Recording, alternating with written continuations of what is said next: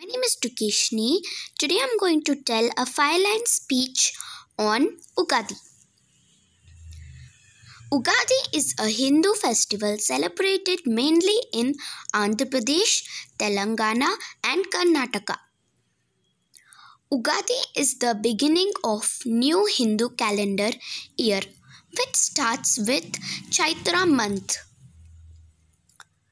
Andhra Pradesh and Telangana, this festival is called as Ugadi and in Karnataka as Yugadi.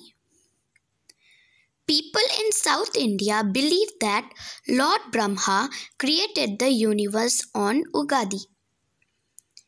People apply castor oil or sesame oil before bath as it is considered auspicious and act as a cooling agent for the transition to hot weather.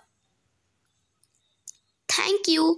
Please like, share, subscribe, comment to my channel and happy Ugadi to all.